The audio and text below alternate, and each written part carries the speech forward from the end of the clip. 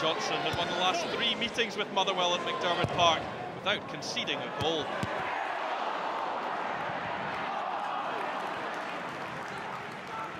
Fraser Kerr looks for the early ball into the middle, away by Wright. Halloran is coming under pressure there. Ojamaa's won it back, looks for Ainsworth, and the ricochet goes away of Ainsworth, and a blistering finish from the winger. And could this be the night that Motherwell turn their fortunes around? Ainsworth celebrates. It was Michael O'Halloran that was caught in possession by Henrik Ojamaa. Vigurs too trying to win the ball back, and the ball broke for Ainsworth. And well, there was certainly no mistake in his finish. Hit with firm power into the roof of the net. Poor defending from a St Johnstone perspective. But what about the finish? Vigurs on to Hamill. Stevie Hamill to have a go. That would be a rare strike. He's already got one this season, but only five in his entire career. About a yard wide of Mannus's goal. Dave Mackay. Well, he unleashed that one with the right foot. It was travelling and swerving. Not too far wide of the target. Ojamaa. Now Kerr. Ojamaa's continued his run. Can he muster the space for a shot?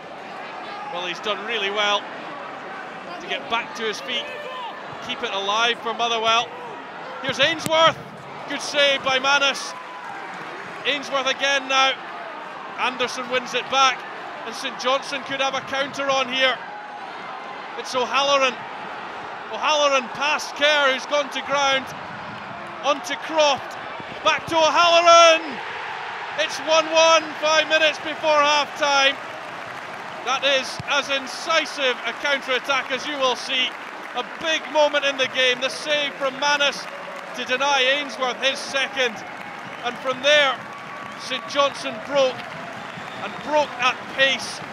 Kerr tried to halt the attack, but O'Halloran knew that the opportunity was on. Motherwell were exposed and didn't St Johnstone finish it off well. Croft to O'Halloran, and it's 1 1. Lasley, Francis Angol. To Hamill, and he spots the run of Ainsworth. Ainsworth gets it on his right foot. It's a good ball into one that you would expect John Sutton to be all over.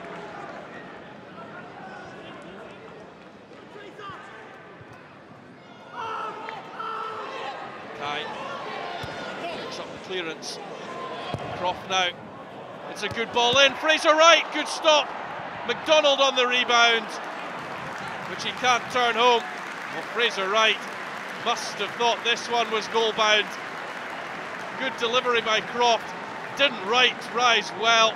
He met it firmly, but it is a strong left-handed save by Twardzik. Easton finds McFadden, former Fir Park favourite, a legend in Lanarkshire.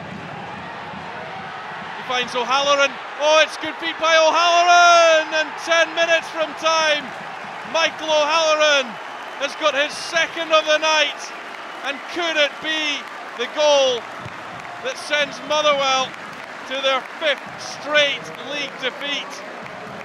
Kerr slipped and collided with Stephen McManus, and that left a path open to Michael O'Halloran, and didn't he finish it well? Created the space for himself before a beautiful clip finish over the outstretched legs of Dan Twardzik.